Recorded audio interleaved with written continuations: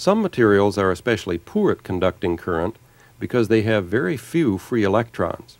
Their valence shells usually contain the maximum number of electrons.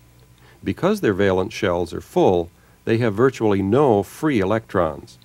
These materials will not easily conduct electrical current and are called insulators. An insulator, then, is a poor conducting material. The important thing to remember about insulators is that it takes much more force or voltage to get an electron to leave an insulator's atom than a conductor's atom. Even when enough force is applied to an insulator, only a very few electrons can be released at any one time.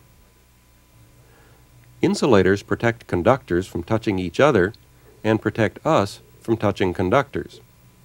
Most materials, other than metals, are insulators. Plastic, glass, and rubber, for instance, are commonly used good insulators. Semiconductors are elements that are unique in that they are neither good conductors nor good insulators.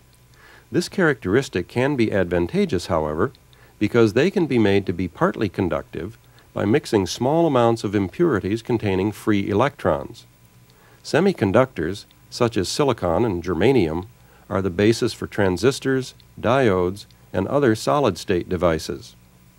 For their ability to control current flow, these materials are covered in a later course.